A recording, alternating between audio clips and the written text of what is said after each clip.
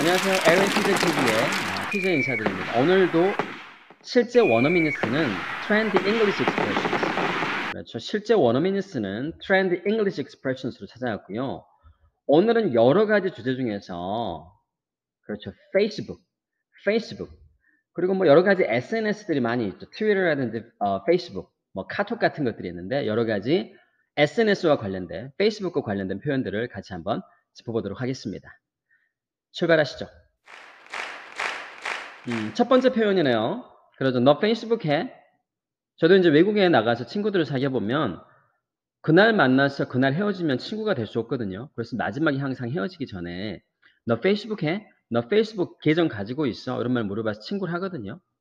그래서 너 페이스북 해라고 물어봤을 때 다시 한국말로 풀어 표현하면 너 페이스북 위에 있어 라는 표현을 쓸 수 있어.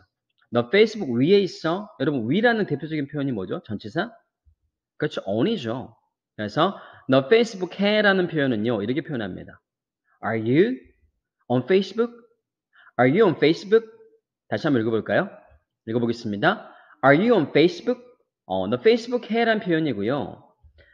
on이라는 표현은 정말 많이 쓰네요. 나 전화 통화 중에 할 때 I'm on the phone이죠. I'm on the phone. 여기서는 페이스북 해는 Are you on, Facebook? 이렇게 표현하는 거죠. Are you on Facebook? 어, 다르게 표현하는 방식도 하나 더 있어요.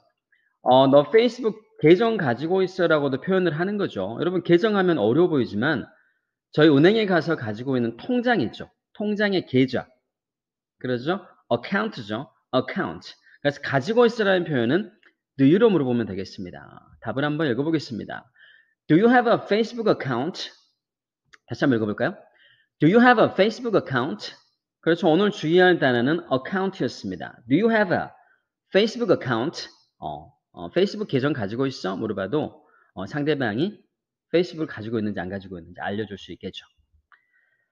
정답이 뭐였죠? 너 페이스북 계정 가지고 있어를 영어로 표현하면 그렇죠. Do you have a Facebook account? Do you have a Facebook account? 이렇게 표현할 수 있다는 거죠. 좋습니다. 두 번째 표현으로 가보도록 하겠습니다. 어, 중학생들, 고등학생 친구들 보면은 페메를 정말 잘 쓰거든요. 야, 페메로 연락해. 페이스북으로 연락해라는 표현을 쓰는데 영어 표현은 정말 쉬워요. 제만 쓰면 되거든요. 나한테 페이스북으로 연락해는요. 이렇게 말합니다. 그래서 페이스북을 써서 Facebook me, Facebook me라고 표현하면 돼요. 페이스북으로 연락해는 뭐라고요? Facebook me. 한국 사람들은 페이스북 메시지보다 카톡을 더 많이 쓰죠. 카톡으로 연락해는 뭐라고 표현할까요? 그대로죠. 카톡 me, 나중에 연락하면 카톡 me later, 카톡 me later. 그래서 카톡만 써주면 돼요. 카톡 me later. 카톡으로 안 하고 문자로 하신 분들이 있어요. 나중에 문자 주세요는 뭐라고 하면 될까요? 카톡 대신에 그렇죠. text me later, text me later. 텍스트가 문자거든요. 그래서 text me later, text me later 하면은요. 나중에 문자 주세요. 그런 말이 됩니다. 쉽네요. 세 번째 표현으로 가겠습니다. 세 번째. 그렇죠. 나랑 페이스북 친구하자. 그렇죠. 외국인 친구랑 만났는데 그냥 헤어지면 친구 관계가 끊어지니까 나랑 페이스북 친구하자. 근데 이전에 배웠거든요. 친구하자. 친구하자. 나랑 친구하자라는 표현을요. 어, 실전과 스피킹 1탄에서 배웠어요. 친구하자. let's로 시작했었죠. 그래서 영어 표현은 let's be friends. let's be friends. Let's be friends. 어디에서 친구 할 거죠? 페이스북에서 할 거니까. let's be friends on Facebook. 다시 한번 읽어볼까요? let's be friends on Facebook. 한 번 더. let's be friends on Facebook. 이렇게 표현하면 우리 페이스북에서 친구하자라는 표현이 될 수 있습니다. 또 다른 방식으로는요, 친구라는 단어, 여러분 친구라는 단어는 friend잖아요. 얘를요, 동사로 활용하는 거야. 그럼 그대로 쓰면 돼요. 나랑 친구해줘 영어로 어떻게 말할까요? Friend me, friend me 어디에서? on Facebook. friend me on Facebook. 다시 한번 읽어볼까요? friend me on Facebook. 한 번 더 읽어볼까요? friend me on Facebook. 그렇죠. friend me on Facebook. 나랑 페이스북에서 친구해줘, 친구하자 이런 표현입니다. 어, 한번 보고 와요. 여러분, friend란 단어를 동사로 쓰는 경우인데 주로 어떨 때 많이 쓴가 보니까 소셜 네트워크 사이트에서 그렇죠. 그러니까 friend란 단어를 friend me란 표현을 매번 쓰는 건 아니고요. 온라인상에서 친구 맺자 할 때를 friend를 써요. 그렇다고 한다면 이건 어떤가요? 온라인이 아니죠. 실제 만난 거요. 실제 만나서 친구하다는 단어는 friend를 쓰기는 조금 그렇고요. 그때 쓰는 표현으로는요. 그렇죠. 읽어볼까요? befriend. befriend.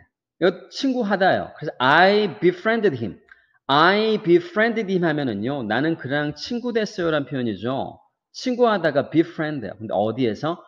I was on a vacation. 휴가 가서죠. 직접 만난 거죠. 그럼 두 개 차이를 다시 한번 이야기해 볼까요? befriend는 befriend는 실제 현장에서 실제로 만나 친구한 거고 friend란 단어는 보통 어, 소셜 네트워크 상에서 온라인 상에서 친구하다는 friend란 단어를 쓰네요. 두 개 차이점 익혀놓으시기 바래요. 그 다음으로 가시죠. 그렇죠. 상대가 나를 친구 추가해줬어요. 그러면 고맙다고 표현해야 되겠죠. 친구 추가 고마워요. 이번엔 친구를 그대로 동사로 쓸 건데요. 고마워요. 고마워요. 뭐라고 하죠? Thanks. Thanks. 뭐에 대해서 고맙냐면 for friending me. 그렇죠. 온라인상에 친구 할 때는 friend를 쓴다 그랬죠. 그래서 thanks for friending me. 다시 읽어봐요. thanks for friending me. 한 번 더. Thanks for friending me. 나를 친구해줘서 고마워요. thanks for friending me. 이렇게 놓으시기 바랍니다. 다섯 번째로 가시죠. 아, 나 걔랑 페이스북 친구 끊었어. 친구를 맺단 아까 뭐였었죠? 여기에 들어갈 단어 뭐죠? I 땡땡땡 him on Facebook의 단어. 그렇죠. 온라인상에 친구 맺은 거니까 I friended him.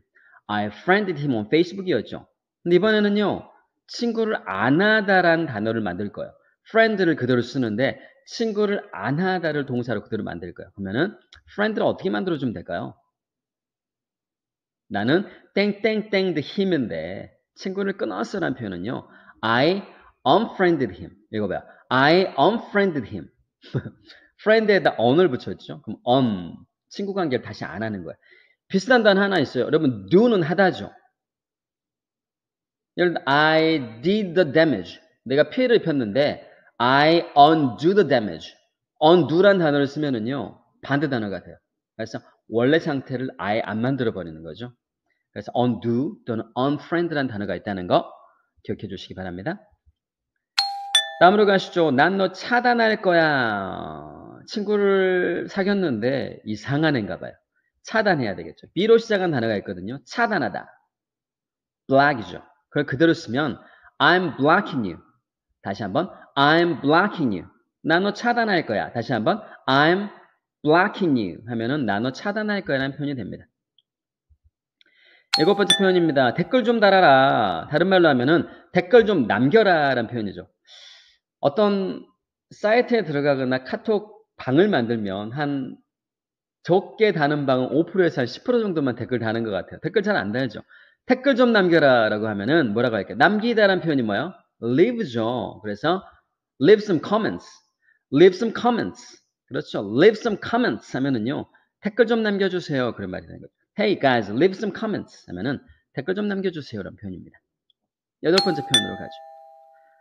댓글 안다는 사람들 싫어 라는 표현을 쓸 건데 여러분 댓글 안다는 사람들을 뭐라고 표현할까요? 노 댓글러들 뭐라고 표현하냐면 숨어있는 사람들이라고 표현하네요. 숨어있는 저 사람을 표현하는 게 L로 시작하는 단어입니다. 뭘까요?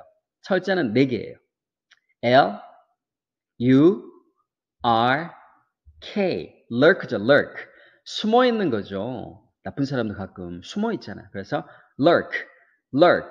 그래서 댓글 안다는 숨어 있는 사람들이 싫어는 이렇게 표현합니다. I hate lurk에다 이하를 붙여요. 그래서 I hate lurkers.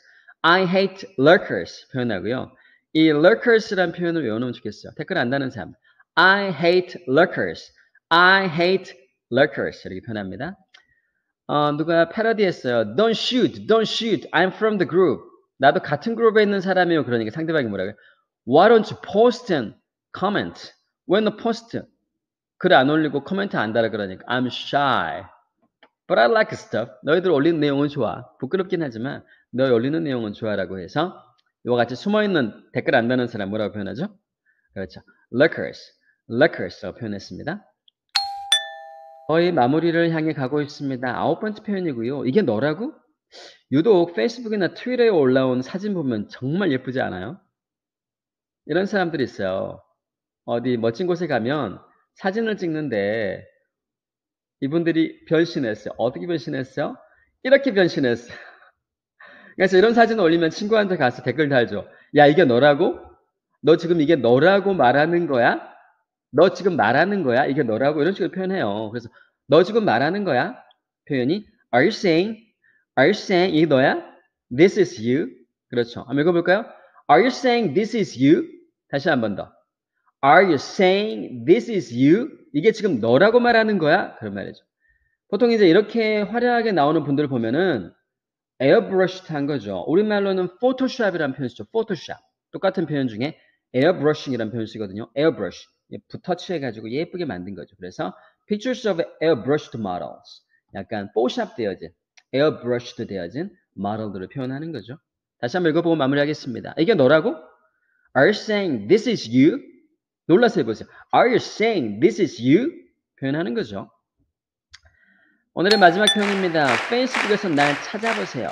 그렇죠. 어, 나 찾을 수 있을 거야. 페이스북에서 날 찾아봐. 찾을 수 있을 거라는 표현을 쓸 건데 찾다라는 표현을 알아야 되겠네요. 찾다라는 표현 세 개 보여드릴게요. 첫 번째 find, 두 번째 look for, 세 번째 look up이 있거든요. 이 중에 두 개가 정답이에요. 나를 찾아봐. 뭐가 답일까요? find일까요? look for일까요? look up일까요? 첫 번째 답은요? 음, 첫 번째 답은요? 어, find me입니다. find me. find me. 두 번째 답은 look uh, for me일까요? look me up일까요? 그렇죠. Uh, look for me일까요? look me up일까요? 두 번째 정답은 look me up입니다. 그래서 오늘의 정답은요. find me on Facebook. find me on Facebook. 두 번째는 look me up on Facebook. look me up on Facebook. 그래서 find와 look me up이 정답인데요. 정해 두시기 바라고요. 마무리하기 전에 세 개의 차이점을 간단하게 설명해 드리고자 합니다. 먼저는 find와 look for의 차이점을 간단히 설명드릴게요. 열쇠가 있어요. 근데 가끔 출근하려고만 하면은요, 열쇠가 안 보여요. 자동차 열쇠를 찾아서 여기저기 다니는데 정말 안 보이거든요. 그걸 한글로 표현해 보면 아침에 자동차 열쇠를 찾았는데 못 찾았어라는 표현. 저도 가끔 그런 경우 있는 것 같아요. 이걸 영어로 표현해 볼게요. 아침에 자동차 열쇠를 찾아다녔는데 못 찾았어. 이걸 영어로 말해 보면 이렇게 표현합니다. 아침에 찾았는데 I was looking for my car key. I was looking for my car key, but I couldn't find it. But I couldn't find it. 두개 차이점이 뭘까요? I was looking for. I was looking for. 이때 look for는요. 무작정 찾는 거죠. 찾는 행위를 말합니다. 근데 문제는 자동차 키가 큰 방에 있는지 거실에 있는지 주머니에 있는지 모르잖아요. 그냥 무작정 찾는 행위가 look for죠. 반면에 find는요. 결과적으로 찾는 겁니다. 결과입니다. 결과. 근데 I couldn't find it이니까 못 찾았다는 결과를 가리키죠. 살펴놓으시기 바라고요. 이번에는요. look for와 look up의 차이를 간단히 설명드릴게요. look for와 look up의 차이는요. 다시 열쇠로 설명드릴 건데 look for는요. 정말 어디 있는지 몰라요. 그냥 찾는 거죠. 그래서 you try to find something but reference가 없어요. 참고나 관련해 볼 수 있는 많은 장소가 없죠. 그래서 무작정 찾아야 돼요. 하지만 lookup은요. reference가 있습니다. 믿을 만한 곳이 있어요. 그래서 예를 들어서 이거 어때요? Look me up on Facebook. 나를 무작정 찾는 게 아니라 페이스북이라는 그 공간 안에서 페이스북이라는 공간 안에서 찾는 거죠. reference가 있어요. 그래서 훨씬 더 찾기가 수월하죠.